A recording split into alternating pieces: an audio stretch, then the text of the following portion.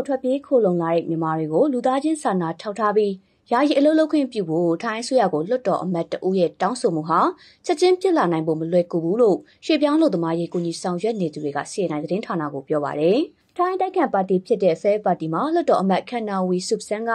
ပြီးခဲ့တဲ့သတင်းပတ်ကတောင်းဆိုခဲ့တာဖြစ်ပြီးတော့အဲဒီကိစ္စကိုကင်တွယ်ဖို့ထိုင်းအစိုးရအနေနဲ့လာမယ့်6လအတွင်းအရေးပေါ်အခြေအနေတုံ့ပြန်ဖို့အစီအမံတစ်ခုချမှတ်ထားတင်ကြောင်းလည်းသူကပြောဆိုခဲ့တာပါ။ အဲ့လိုတောင်းဆိုမှုတွေဟာအရင်ကလည်းရှိခဲ့ပြီးဒုက္ခသည်တွေကိုအလုပ်လုပ်ခွင့်ပေးရေးကိုတော့လက်တွေ့လေ့ကျင့်မှုတွေရှိခဲ့ကြောင်းနောက်ပိုင်းမှာတော့တချို့သောအကြောင်းတရားတွေကြောင့်အလုပ်မဖြစ်သွားတာနဲ့ကြုံတွေ့ခဲ့ရကြောင်း FED မှာအလုပ်သမားတာဝန်ခံဦးမင်းက CNN သတင်းဌာနကိုပြောပါရယ်အဆိုတခုကိုတင်သွင်းနေဆိုလို့ရှိရင်လွတ်တော်ထဲမှာတို့ကဆွေးနွေးကြတာပဲဆွေးနွေးတဲ့အခါမှာဒီဒီတခုလေးနဲ့ပေါ့နော်အလုပ်သမားရေးရှုတော့စီးပွားရေးရှုတော့နေနေမဟုတ်ဘူးညာတို့က သက်ဆိုင်ရာအထူးသဖြင့်တော့ဒီမှာဆိုလို့ရှိရင်သူတို့ရဲ့ပြည်ထဲရေးဝန်ကြီးဌာနရှိမယ်ဟုတ်လားပြီးတော့မှခုနပြောတဲ့အလုပ်သမားရေးဝန်ကြီးဌာနရှိမယ်အဲ့ဒီဌာနတွေကနေပြီးတော့သူတို့ရဲ့ဆိုင်ရာဆိုင်ရာသူတို့ရဲ့စီမင်းစီကံနေနဲ့သူတို့ကြည့်ပြီးတော့လိုအပ်ချက်ကိုကြည့်ပြီးတော့မှသူတို့ကအဲ့ဒါကိုအာအတည်ပြုရဆိုရင်ဒီ cabinet သူတို့ resolution ဆိုပြီးတော့သူတို့တခုကြလာမှာပေါ့ဒီကြလာတဲ့ဟာကိုခုနပြောတဲ့အဲတော်ရင်ရာစုပေါ့နော်ဒီနေရာနေပြီးတော့ဒီအာထပ်ပြီးတော့ဟို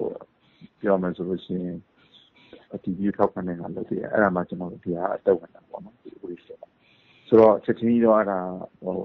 ဖြစ်ဖို့ဆိုတော့မလွယ်ဘူးဒါပေမဲ့ကျွန်တော်တို့ပြောလို့မရဘူးရလက်ရှိမှာလူသားချင်းစာနာထောက်ထားမှုဆိုင်ရာအကူအညီပေးရေးဆောင်ရွက်မှုကိုထိုင်းနိုင်ငံကဦးဆောင်ကဆောင်ရွက်နေတာဖြစ်ပြီးအဲ့ဒီအစီအစဉ်ဟာနဆက EAO အဖွဲ့တွေနဲ့အမျိုးသားညီညွတ်ရေးအစိုးရ NUG တို့ပါဝင်တဲ့တွဲဆုံဆွေးနွေးမှုတွေကိုဥတီသွားစေနိုင်ကြောင်းလဲဖေဖော်ဝါရီလဆန်းပိုင်းမှာထိုင်းနိုင်ငံသားရဲ့ဒုဝန်ကြီးရဲ့ပြောဆိုမှုကိုတော့ The Straight Time သတင်းကဖော်ပြထားပါတယ်။ အဲ့ဒီအခြေအနေတွေကြောင့်တွေးဆောင်ဆွေးနွေးရေးဖြစ်ပေါ်လာပါကအဲ့ဒီတောင်းဆိုမှုဟာအကောင့်ထဲပေါ်ပေါက်လာနိုင်ကြောင်းလဲရွှေပြောင်းလူသမားရေးကူညီဆောင်ရွက်သူတွေကသုံးသပ်ပါတယ်။ဒါအပြင်ဝန်ကြီးချုပ်ဟောင်းတက်စင်လက်ထက်မှာလည်းယာယီအလုပ်လုပ်ခွင့်တွေကိုစတင်ထုတ်ပေးခဲ့တာဖြစ်တဲ့အတွက်ခွင့်ပြုလို့ရကြောင်းလဲရွှေပြောင်းလူသမားရေးကူညီဆောင်ရွက်ပေးနေသူကိုသားကြီးက CNN သတင်းဌာနကိုပြောပါတယ်။2000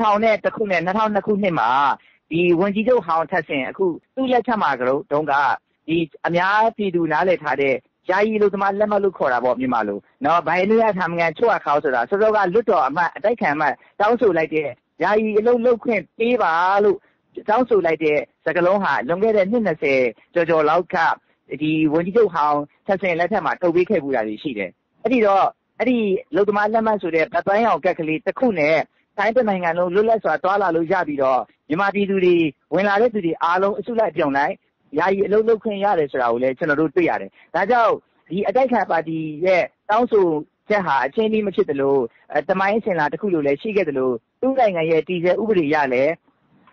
ခွင့်ပြုမယ်ဆိုရင်ခွင့်ပြုလို့ရတယ်ဆိုတာကိုကျနော်တို့တွေ့ရတယ်။ဒါ့အပြင်ထိုင်းဝန်ကြီးချုပ်ဆူရီတာကထိုင်းနိုင်ငံထဲကိုတရားမဝင်ဝင်ရောက်တဲ့မြန်မာနိုင်ငံသားတွေကိုအရေးယူမယ်လို့ထုတ်ဖော်ပြောကြားထားတာပါ။ဒါပေမဲ့လည်းဖေပါတီမှလွှတ်တော်အမတ်ခန်နာဝီဆုပ်ဆန်းက